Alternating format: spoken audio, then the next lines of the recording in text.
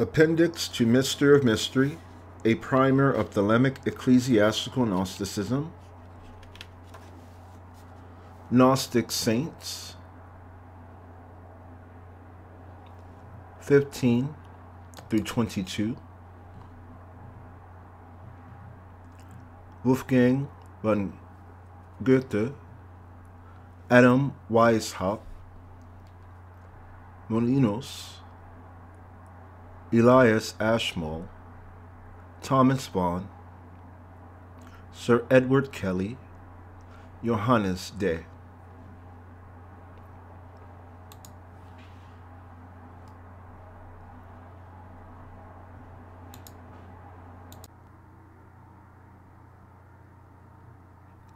Wolfgang von Goethe, Johann Wolfgang von Goethe, or in Arabic, Gauth. The Gauth is known amongst Theosophists as Sanat Kumara and the Arabs as the Axis Mundi or the Qutb. 1749 to 1832 Era Vulgaris by Tau Apiryon. German novelist, playwright, poet, critic, journalist, painter, theater manager, statesman, educationalist, lawyer, scientist, philosopher, alchemist, mystic, and Freemason. He was a true Renaissance man, a success at all his vocations and avocations, but he was indisputably one of the greatest authors and poets of all time. The best known of his many works are Wilhelm Meister, Lehrjahre, Master William's Year of Learning, 1821. Die Leiden des jungen Werther, The Sorrows of Young Werther, 1774. Dichtung und Wahrheit, Poetry and Truth, 1811, and his masterpiece, Faust, published posthumously, 1832. Faust is universally recognized as one of the supreme achievements in all of literature. Goethe poured the entire vast reservoir of his wisdom and talent into this semi autobiographical work, which deals with the spirit of Western man, the dualistic dilemma between spiritual longing and sensual desires aspiration and indulgence, and the drive for access to the infinite through knowledge. Faust is based on the legend of Dr. Faustus, also popularized by Chris- Christopher Marlowe. Although there apparently was an historical Dr. Faustus, John Faustus of Wittenberg, circa 1520 Era His mythical life story appears to have been built upon events from the lives of three other, more well known men Paracelsus, Johannes Heidenberg von Trichheim, also known as Trithemius, the abbot of the Benedictine monastery of Sponheim, who was one of Paracelsus's teachers, and Henry Cornelius Agrippa von Nettesheim, a Kabbalist and Neoplatonist, a contemporary of Paracelsus, and his fellow student of Trithemius and Richelieu. Reuchlin. In part one of Faust, we find the devil under the name Mephistopheles. paying a visit to the Lord to chide him over the miserable condition of his creation. The Lord counters with the example of his favorite servant, the doctor Faust. Mephistopheles wagers that Faust, too, will fall into corruption if he would only be allowed to spend some time with him. The Lord reminds Mephistopheles that his policy is not to interfere with the earthly enterprises of Mephistopheles. We next find Faust, a medieval physician, lawyer, and theologian who has become frustrated with the emptiness of conventional learning and religion, and who longs for more direct and who longs for a more direct communion with the real knowledge of nature. Conventional studies have failed him. He turns to magic. He invokes the spirit of earth, who shows him even more clearly his divided divine, earthly nature. Two souls, alas, are housed within my breast, and each will wrestle for the mastery there.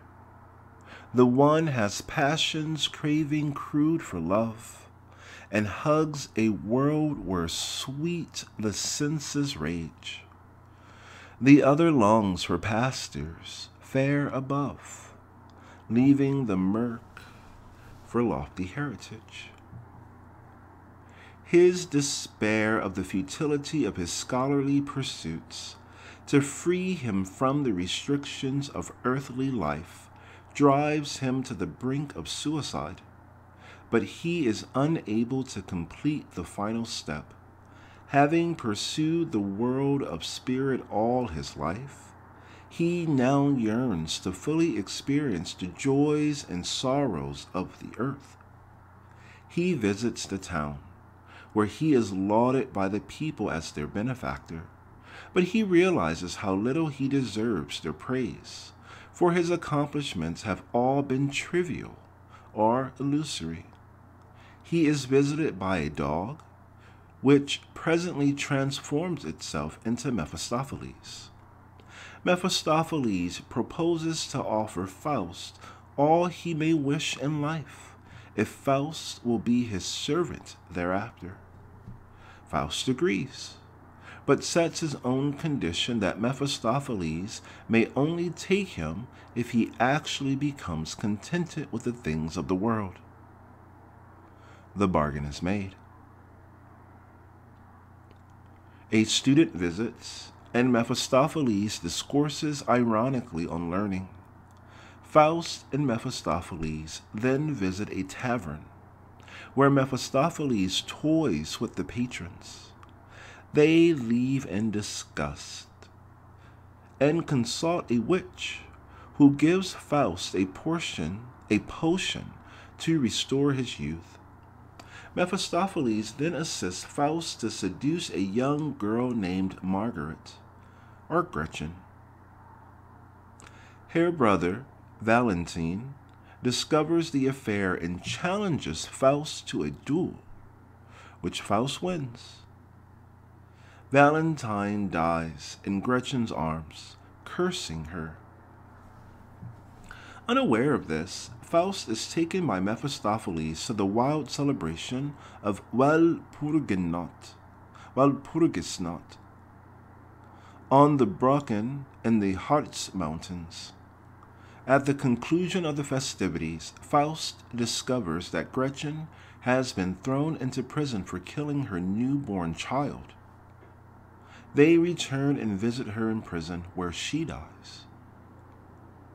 Part 2 of Faust, while continuing the story of Faust and Mephistopheles, is more allegorical and symbolic than Part 1. Faust and Mephistopheles visit the court of a medieval emperor who is on the verge of losing his rule. Mephistopheles comes to his aid with the invention of paper money and Faust is charged to conjure up Helen of Troy as an entertainment. He falls in love with the ephemeral spirit of Helena. the perfect realization of idealized beauty. She vanishes at his touch, and he falls unconscious.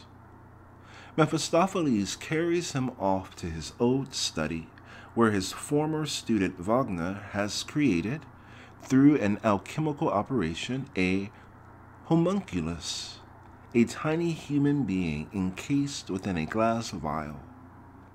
Mephistopheles conveys Faust and homunculus back in time to the classical Walpurgis night, where they each may seek their desire. Faust his Helena, and Homunculus his incarnation. After a series of encounters with various figures of myth, Homunculus is carried to the sea, where he dashes himself against the throne of the beautiful Galatea.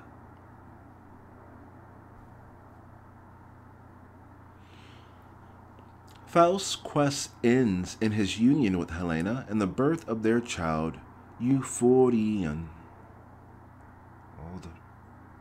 who flies rashly up to the sun only to fall back into the sea like Icarus. Helena, in grief, returns to her proper place in time. Faust and Mephistopheles return to the domain of the emperor, who is now challenged by a revolution. Mephistopheles assures victory to the emperor by providing him with a ghostly army. After the battle is won, Faust devotes his abilities to a great project, the reclaiming of a large tract of land from the sea. Near the completion of the project, Faust is again in old age. In order to complete the reclamation project, Faust commands that an old couple be relocated from their cottage to a new home, which has been prepared for them. Unfortunately, they refuse to go, and Faust's men end up burning down the cottage with the old couple inside it. Faust is again struck by the futility of his efforts, even with the aid of magic. He is near death. His labors have resulted in disaster, and he is no closer to personal freedom. However, he refuses to be defeated by care, and in his final moments, he realizes the true nature of freedom. Mephistopheles conjures his devils to capture Faust's soul as it escapes, but a band of angels arrives. Mephistopheles is distracted by the beauty of the angels, and the soul of Faust escapes him. The angels bear Faust's soul into a high mountain valley, where, surrounded by saints, angels, and mystic spirits, the soul of Gretchen arrives to serve as Faust's guide into the ultimate regions of heaven.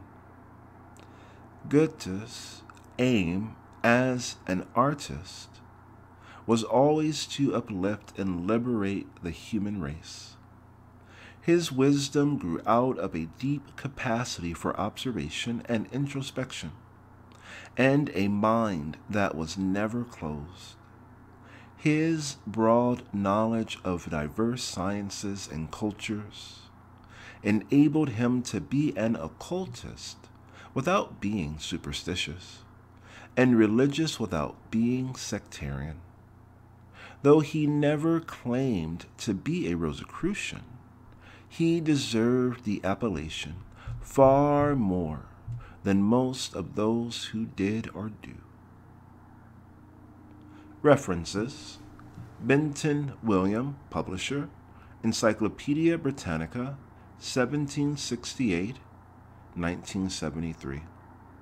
Mackenzie Kenneth, The Royal Masonic Cyclopedia, 1877, Aquarian Press, Wellingborough, 1987.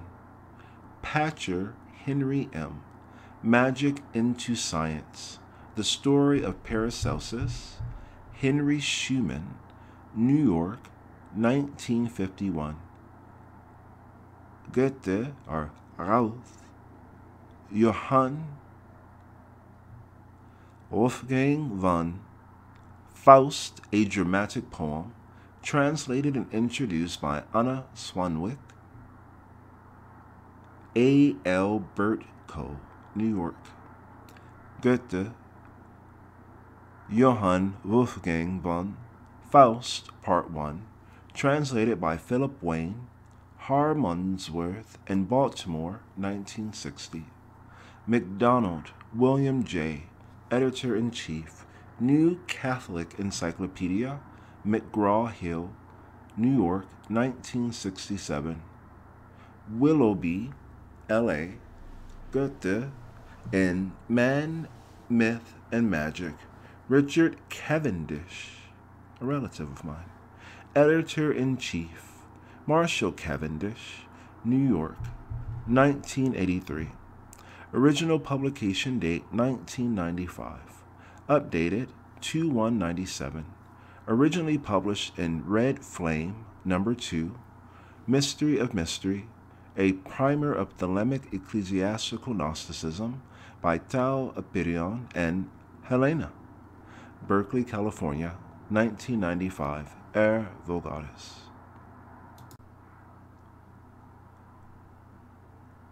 Our next saint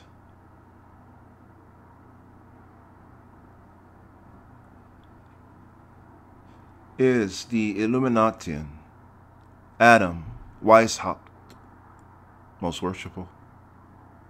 1748 to 1811, Era Vulga, by Tau Apiryon, German educator, Freemason, and founder of the Order of Illuminati. Crowley considered him to be a master of the temple. Weishaupt was educated by the Jesuits, but later became their bitter enemy. He was given the position of professor of canon law at the University of Ingolstadt, Bavaria in 1775, and was the first non ecclesiastic to hold that position. The most common way to become the bitter enemy of the Jesuits is to be rejected by them. Weishaupt's humanistic system of Illuminism and his order of the Illuminati emerged from a small group of anti-royalist, anti-clerical students Weishaupt had established at Ingolstadt.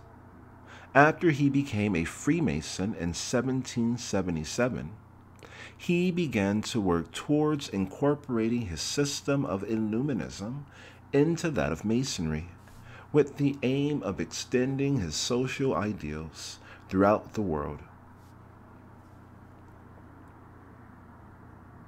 For a time, the Illuminati exercised a considerable amount of influence, but ultimately ended in failure largely due to vehement ecclesiastical persecution, coupled with the incompetence of many of Weishaupt's disciples. He was banished Apu Pontus Cacodämonos from Bavaria in 1784 and spent the remainder of his life as a guest of the Duke of Gotha, where he wrote a Picture of the Illuminati, 1786. A Complete History of the Persecution of the Illuminati in Bavaria, 1786. An Apology for the Illuminati, 1776 plus 10. And An Improved System of the Illuminati, 1787. Most of Weishaupt's biographers, including Barruel and Robison, have been ecclesiastical or royalist partisans and have therefore vilified and slandered him. References Mackenzie Kenneth, The Royal Masonic Cyclopedia, Aquarian Press, Wellingborough, 1987. Mackey, Albert G., Encyclopedia of Freemasonry, Masonic History Co., New York, 1909. Robinson, John. Proofs of a Conspiracy, 1798. Americanist Classics, Los Angeles, 1967. There is a tab for additional information.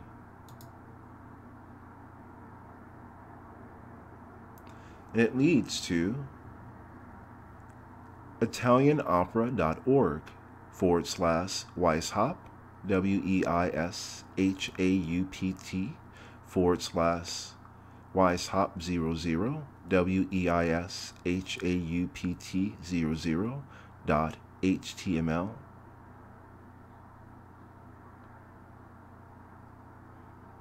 And I'll play a bit, possible.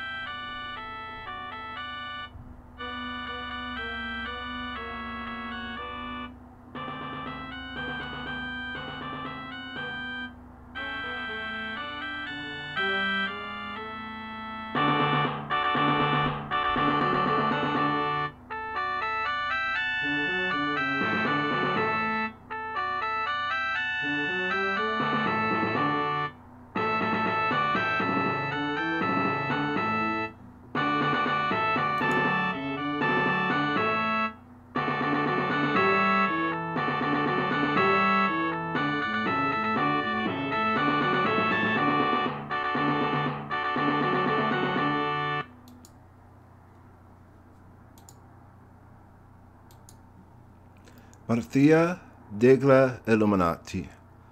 I will add the file if possible at the end of the Seven Saints. By Giovanni Simon Meyer, Nom de Re Aristotle, Aristut. Arrangement copyright by BIA at Italian Opera 2001. And here, from Google Translated Italian, if I can get it again.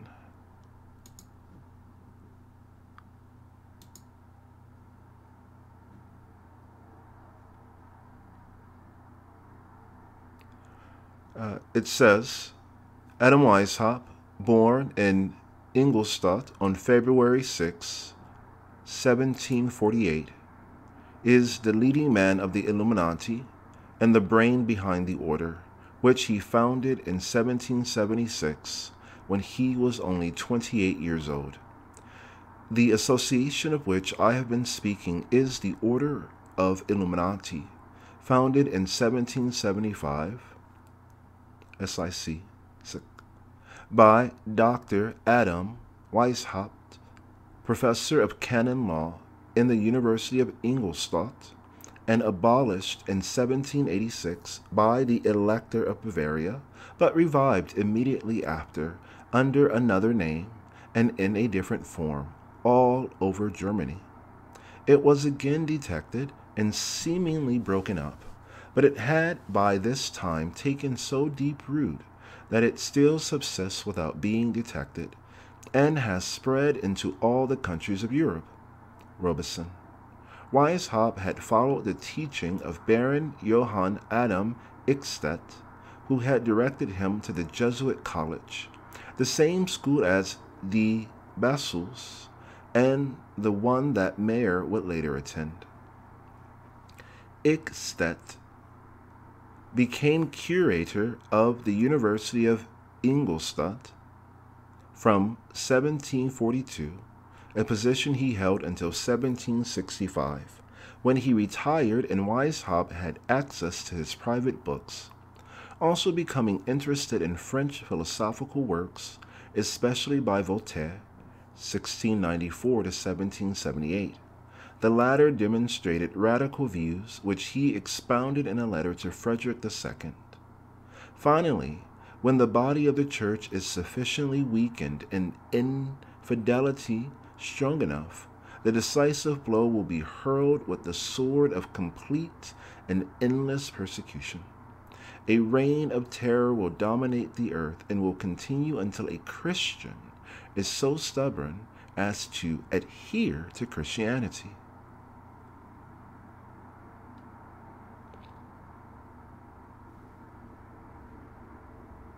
The, the intention to fulfill the mission of and therefore destroy the Jesuits and the Weishaupt Church may have drawn from Voltaire and the encyclopedias. Meanwhile, he graduated from the University of Ingolstadt in 1768. He served as a tutor for four years until he was promoted to assistant. The ends, according to Weishaupt, must be pursued by any means and in secret. Every initiate is told to lead his friend. This is done to form a legion, which, better than Thebes, is called holy and invincible. Weishaupt awakened in followers the desire for equality and freedom making them indifferent to governments. He led men of different nations and religions to a common bond, taking away the most brilliant minds from the church and the state. With this, he undermined the foundations of the states. Still moderate ideas, because for the extreme classes of wizards and kingmen, everything is matter. How many prejudices did we not find to destroy in you before being able to pers persuade you?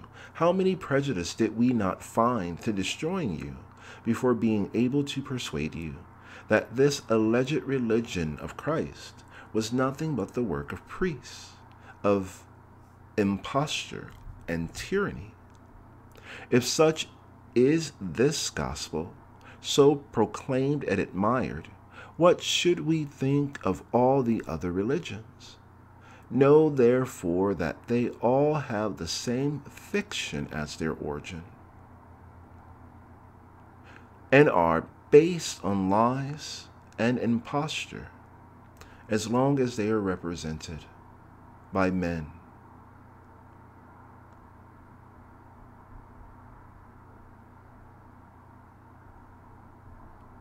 And not logic.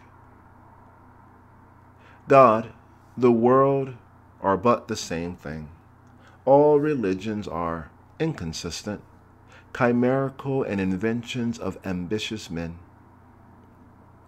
In the instruction for the rank of regent, Weishaupt requires the Illuminati to hide under the name of another society, the lower lodges of Freemasonry, the code state, the administrative state are meanwhile the most convenient veil for our great object, because the world is already accustomed to not expecting anything big, and that deserves attention from Masons. It took its first rise among the Freemasons, but is totally different from Freemasons.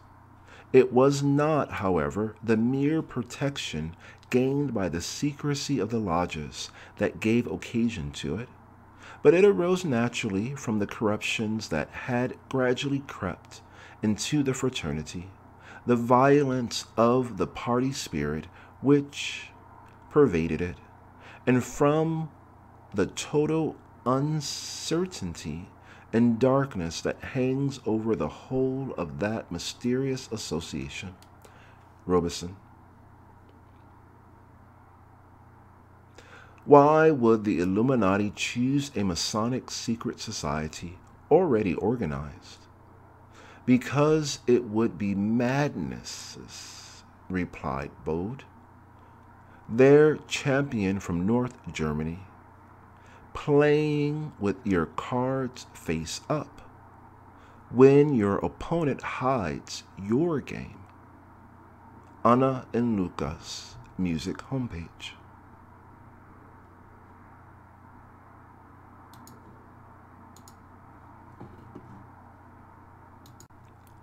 The next saint is Molinos, Miguel de Molinos, 1640 to 1697, Anno Domini, by Tau Apiryon. Spanish priest and mystic, the chief exponent of Quietism. He studied theology at Valencia, moving to Rome after his ordination. Quietism is a form of religious mysticism influenced by Neoplatonism, which requires extinction quieting of the personal will. Fana. And passive contemplation to allow infusion of the divine will. Boko. Molinos believed that his doctrine of quietism was the only way to Christian perfection. Molinos wrote The Spiritual Guide, 1675, which is included in the Liber E and AA Section 1 reading lists and is required reading for entry to the probationer level of AA. Crowley describes it as a simple manual of Christian mysticism. It causes an immediate sensation on its publication. It caused an immediate sensation on its publication and was popular among Protestants as well as Roman Catholics. In 1685, Anno Domini, at the height of his popularity, Molinos was arrested by the papal police, tried, and eventually sentenced to life imprisonment for heresy. The way to inner peace shown by Molinos in the spiritual guide is fourfold 1. Prayer, 2. Obedience, 3. Frequent communion, and 4. Inward mortification. Molinos does not advocate withdrawal from the external affairs of life, but characterizes performance of one's ordinary calling if it is done with inner concentration and devotion to the divine will as virtual prayer. Practice progresses from meditation through contemplation to passive infused contemplation, a state wherein contemplation is habitual and continuous. Molinos eschewed speculation on or longing for the Godhead, as well as external mortifications as being too involved with the personal will. He saw obedience as necessary to the contemplative life, as a corrective to the tendency of the personal will to reassert its dominance. His arrest was a result of a campaign against him by the Jesuits, who viewed the internalizing doctrines of Quietism as not only a threat to the established practices and temporal ambitions of the church, you see, but also as leading to antinomianism.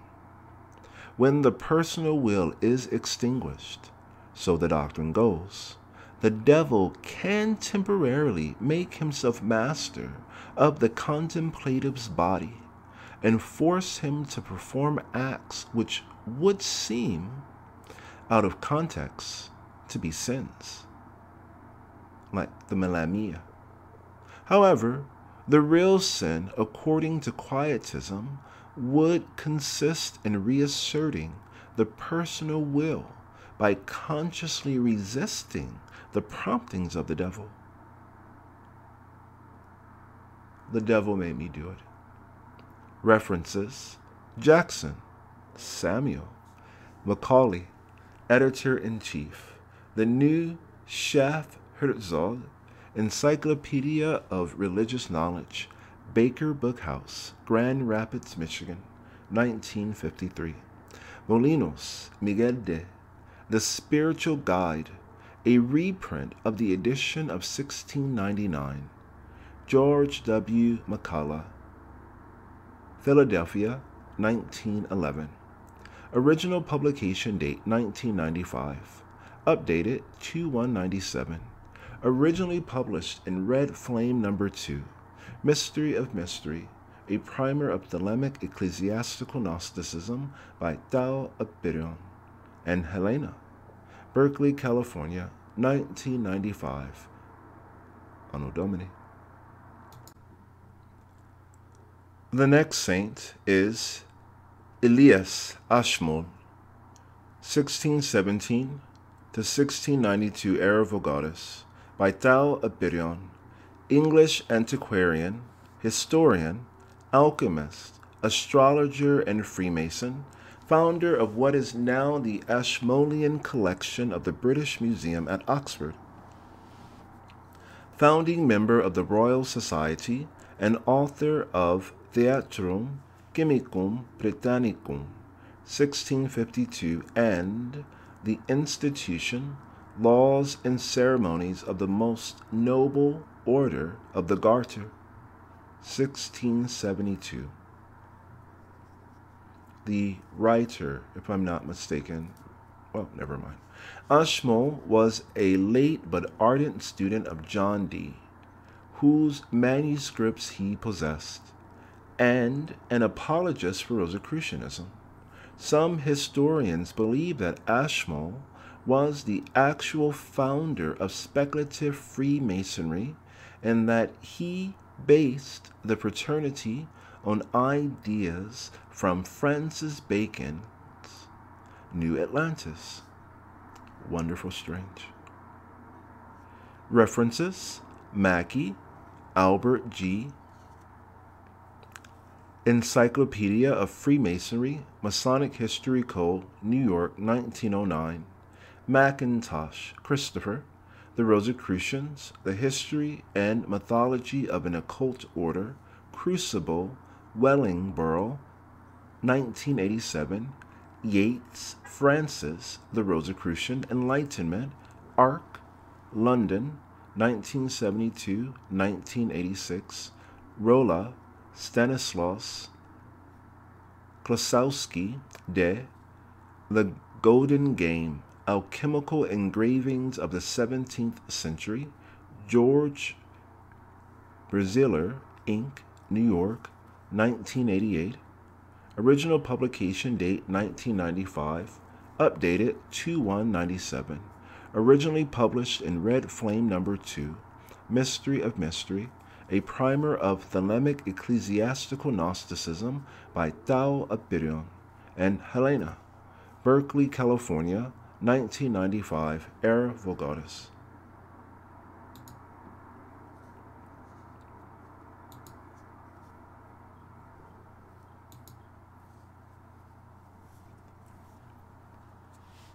Another saint and potential relative of the speaker, Thomas Vaughan, 1622 to 1665, Era Vulgaris, by Tau Apiryon. Welsh alchemist, Kabbalist, and Rosicrucian apologist. He was born at Llanelli Fred on the Usk, the brother of the well-known poet Henry Vaughan.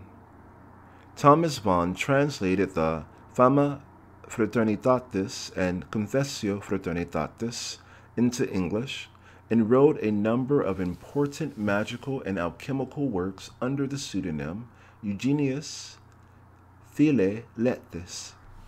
He was killed by an explosion during an alchemical experiment, or, as some say, by an overdose of the elixir. His works include Anthrosophia, Theomagia, a discourse of the nature of man and his state after death, 1650, Anima Magia Abscondita, a discourse of the universal spirit of nature, 1650, Magia Adamica, The Antiquity of Magic, 1650, Coelum Terra, Coelum Terre, the magician's heavenly chaos, unfolding a doctrine concerning the terrestrial heaven, 1650. Lumen de Lumen, Lumen de Lumine, a magical light. Lumen de Lumine, a new magical light, 1651. Aula Lucis, the House of Light, 1651 the fame and confession of the Fraternity of the Rose Cross, 1652, and Euphrates, the Waters of the East, 1655. References McIntosh Christopher, The Rosicrucians, The History and Mythology of an Occult Order, Crucible, Wellingborough, 1987. Regardie, Israel, the Philosopher's Stone, 1970, Llewellyn Publications, St. Paul, Minnesota, 1978. Waite, Arthur Edward, The Real History of the Rosicrucians, London, 1887. Waite, Arthur Edward, editor. The Works of Thomas Vaughan, University Books, New York, 1968. Yates, Frances. The Rosicrucian Enlightenment, Arc, London, 1972-1986. Original publication date 1995, updated 2197. Originally published in Red Flame Number 2, Mystery of Mystery, a primer of Thelemic Ecclesiastical Gnosticism by Tau Apiryon and Helena, Berkeley, California, 1995, Era Vulgaris.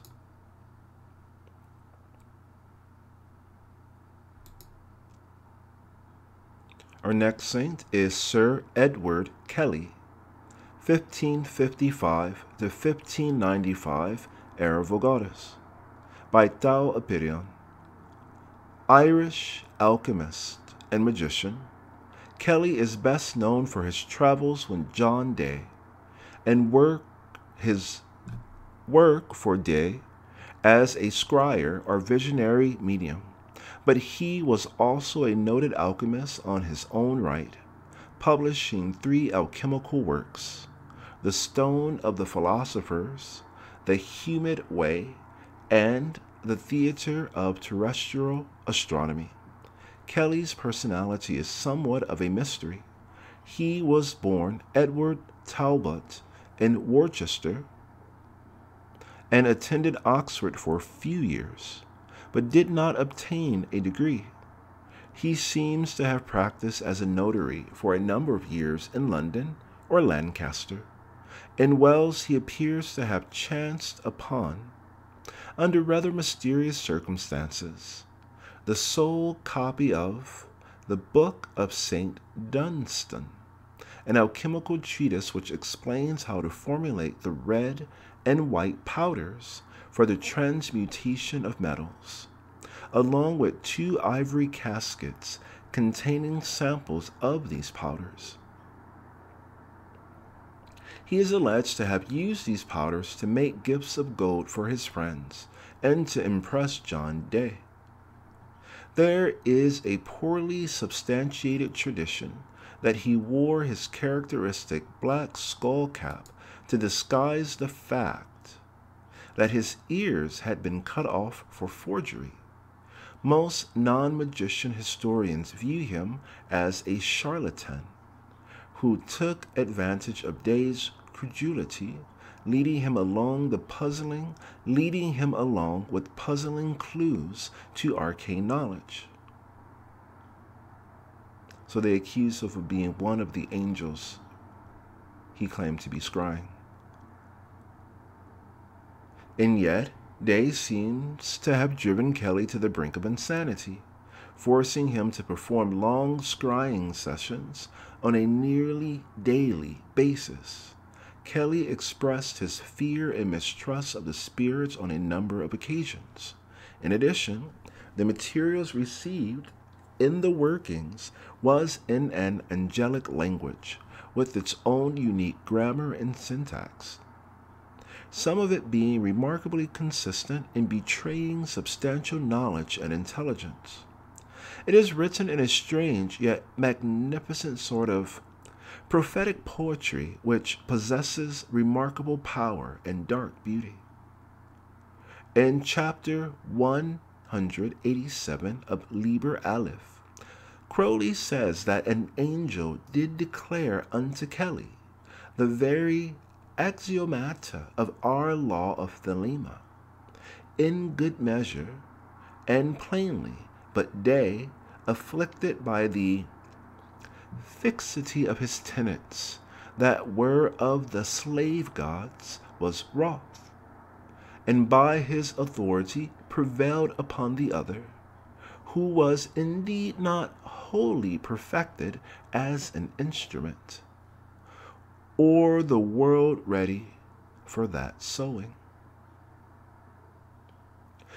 The particular transmission to which Crowley probably refers is recorded in Dee's diary for June 8, 1584. Dee states that the spirits attempted to persuade Kelly that Jesus was not God, that no prayer ought to be made to Jesus, that there is no sin that man's soul doth go from one body to another, child's quickening or animation. That as many men and women as are now have always been.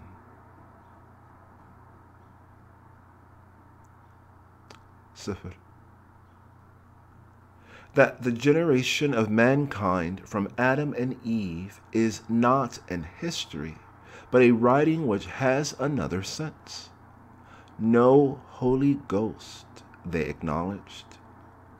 They would not suffer him to pray to Jesus Christ, but would rebuke him, saying that he robbed God of his honor, etc. Why have you come here to persecute us? Oh, Jesus, Son of God. Get thee out of him, he said. For the man possessed by legion. The cosmological system received by Dee and Kelly bears numerous resemblances to older Gnostic systems. Two late Gnostic works, the Book of Jeu were attributed to authorship of Enoch. They are of his father Seth. The system of 30 Aethyrs developed by Dee and Kelly could easily be classified as a Gnostic aeonology. They are numerous other examples. There are numerous other examples. One of the most striking is the following passage, obtained by Dee and Kelly on May 23, 1587. I am the daughter of fortitude.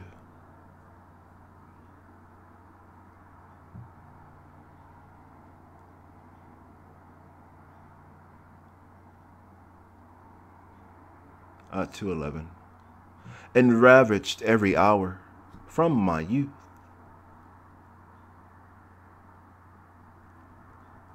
For behold, I am understanding, and science dwelleth in me.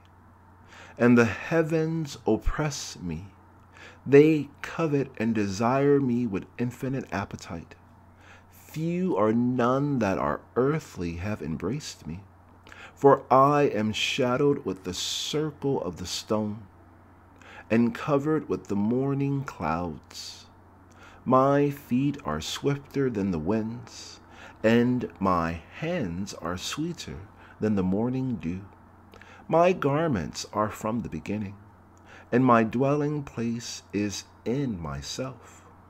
The lion knoweth not where I walk, for I walk within him. Neither do the beasts of the field understand me. I am deflowered and yet a virgin. I sanctify and am not sanctified. Happy is he that embraceth me, for in the night season I am sweet, and in the day full of pleasure. My company is a harmony of many cymbals. Cling. And my lips sweeter than health itself. I am a harlot for such as ravish me, and a virgin with such as know me not. For lo, I am loved of many, and I am a lover to many.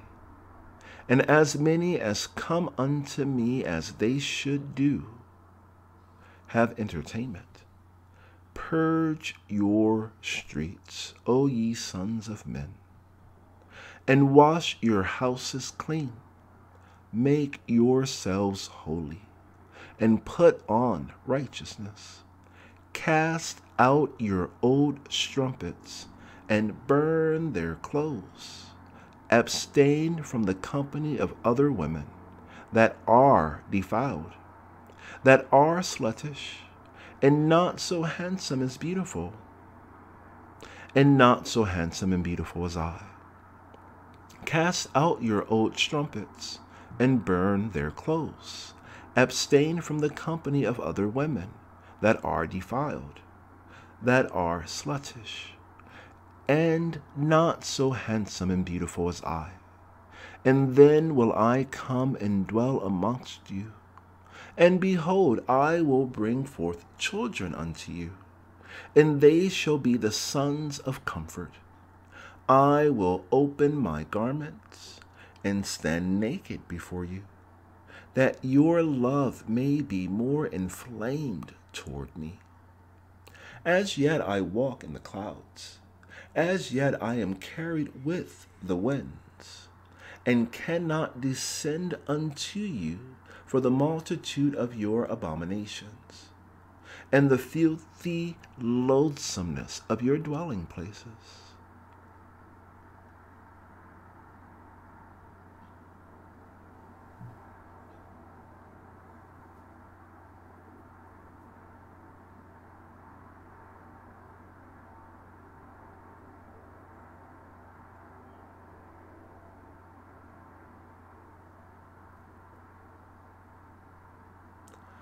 Whatever else he was, Kelly was, in one sense or another, inspired.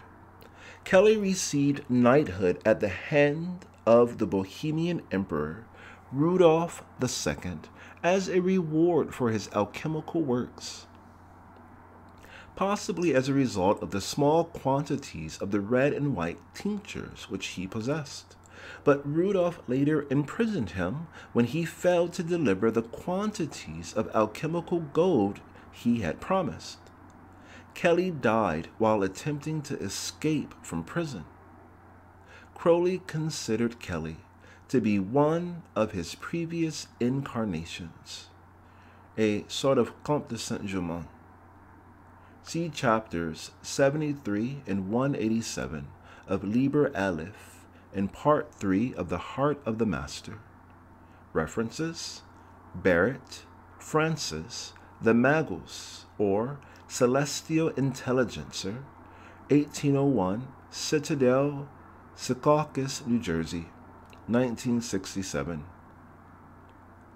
Casaubon, Meric, a true and faithful relation of what passed for many years between Dr. John Dee and some spirits, London, 1659, reprinted by Magical Child Publishing, Inc., New York, 1992. Crowley, Aleister, The Equinox, Volume 1, London, 1910 to 1913, Erival Goddess. Crowley, Aleister, The Heart of the Master, Ordo Templi Orientis, 1938, New Falcons Publications, Scottsdale, Arizona, 1992.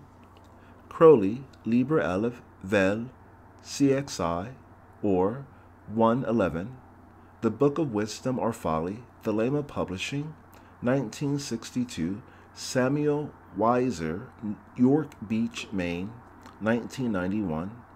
Head Thomas, The Enochian System in the Complete Golden Dawn System of Magic, edit- edited by Israel Regardie, Falcon Press, Phoenix, Arizona, 1984. James Geoffrey, The Enochian Evocation of Dr. John Dee, Heptangle Books, Gillette, New Jersey, 1984. Laycock, Donald C., The Complete Enochian Dictionary, Askin Publishers, London, 1978. Rohmer Sax, The Romance of Sorcery, Causeway Books, New York, 1973. Turner Robert, Elizabethan Magic, Element, Longmead, 1989. Yates, Frances, The Rosicrucian Enlightenment, Arc London, 1972 to 1986. Original publication date 5 24 95. Originally published in Red Flame Number 2, Mystery of Mystery, a primer of Thelemic ecclesiastical Gnosticism by Tau Apiryon and Helena, Berkeley, California, 1995, Era Vulgaris. Her Majesty, Queen Elizabeth I,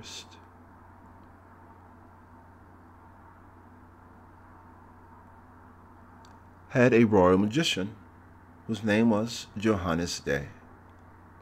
The next Gnostic saint, Johannes John Dee, 1524, 1527 to 1608,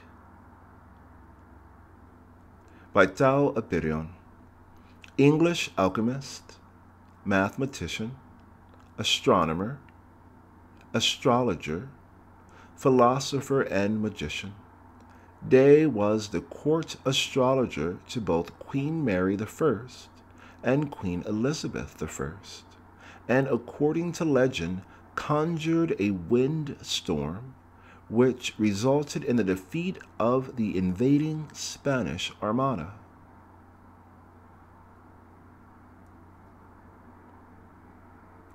Dee was the editor of the first English translation of Euclid's Elements. Dee, along with Edward Kelly, were responsible for the Enochian system of magical intercourse with a hierarchy of angelic beings a system of great importance in the magical technology of the Hermetic Order of the Golden Dawn and of Aleister Crowley, forming the basis for Liber CDX V111. 418 The Vision and the Voice in the Equinox, Volume 1, Number 5, March 1911, and Liber LXXX IX.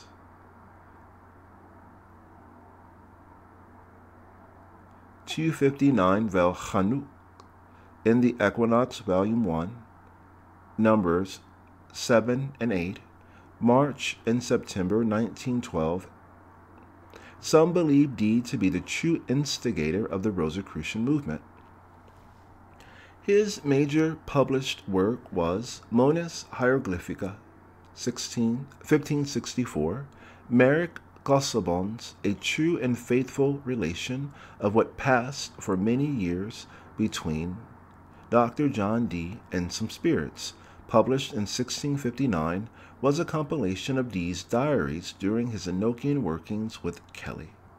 References Barrett Francis, The Magus, or Celestial Intelligencer, 1801, Citadel Secaucus, New Jersey, 1967, Casaubon, Meric, A True and Faithful Relation of What Passed for Many Years Between Dr. John Dee and Some Spirits, London, 1659, reprinted by Magical Child Publishing, Inc., New York, 1992.